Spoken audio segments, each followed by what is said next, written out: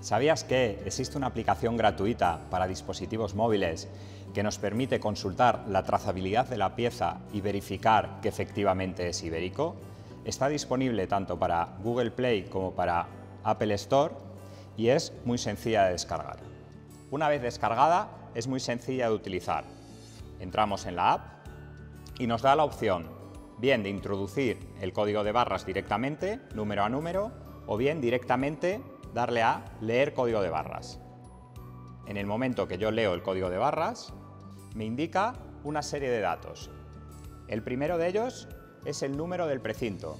Este número es identificativo de cada pieza y es único en cada jamón ibérico.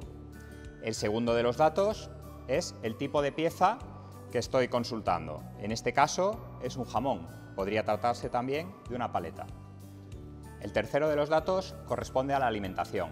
Podría ser cebo, cebo de campo o bellota. En este caso, corresponde a un jamón de bellota. El cuarto resultado nos indica el porcentaje racial del animal del que procede el jamón. En este caso tenemos un precinto negro, procede de un cerdo 100% ibérico.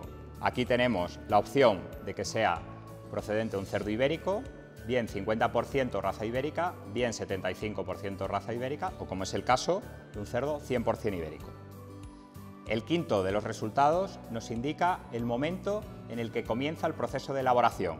En este caso vemos dos cifras, la primera 02 y la segunda 2019. La primera cifra corresponde al mes y la segunda al año. Este jamón se comenzó a elaborar en febrero del año 2019. Y por último, tenemos la comunidad autónoma en la que se elabora el producto.